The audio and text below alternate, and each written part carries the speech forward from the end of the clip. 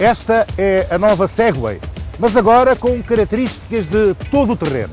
Pesa um pouco mais de 54 kg, atinge uma velocidade de 20 km hora, a autonomia é de 20 km fora de estrada e proporciona um prazer só visto e experimentado.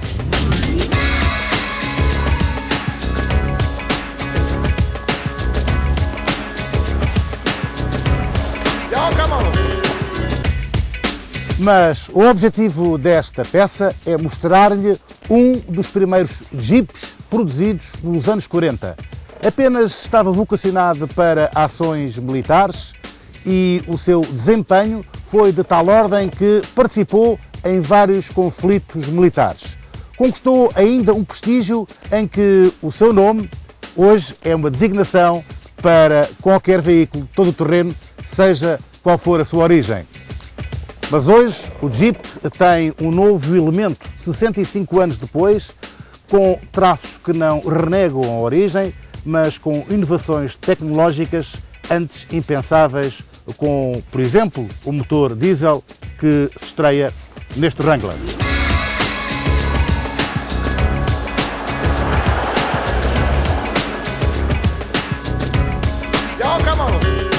A transformação operada não foi profunda, nem os indefetíveis da marca o aceitavam, mas a verdade é que o novo Wrangler chegou ao nosso país dotado de um pacote extremamente interessante e com um preço na versão comercial, isto é, de apenas dois lugares, a não ultrapassar os 26 mil euros, que teve como resultado esgotar o estoque, só se prevendo novas unidades para fevereiro do próximo ano.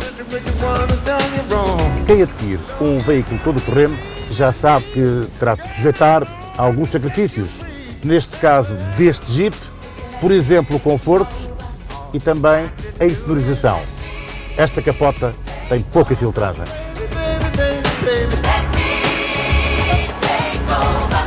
Mas estes são os custos de um fora de estrada com estas características, que mesmo assim melhorou imenso relativamente à anterior versão.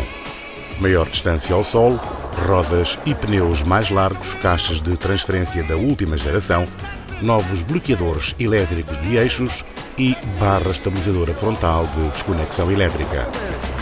Dotado igualmente de um chassi 100% mais rígido, o novo Wrangler oferece agora mais espaço interior para os dois ocupantes, quer ao nível dos ombros, quer das ancas. A colocação dos dois botões que comandam o computador e também o trip, ou parcial de quilómetros, está numa posição de difícil acesso. É necessário uma grande ginástica de mãos e dedos para lá chegar.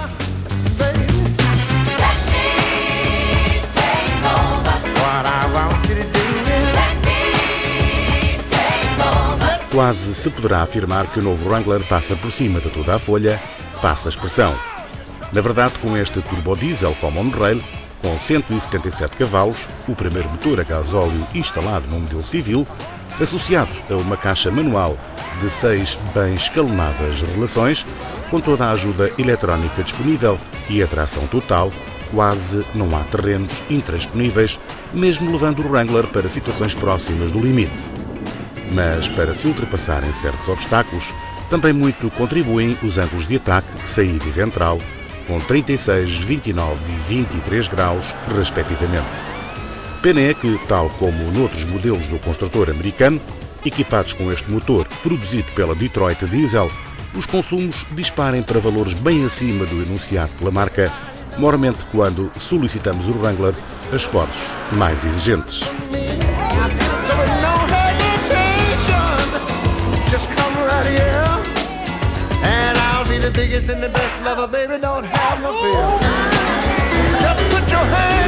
Concluídas as filmagens, é a altura agora de eu e o Manel Silva, o proprietário deste lindíssimo Willys, em estado rigorosamente original, iremos curtir um pouco o fora de estrada.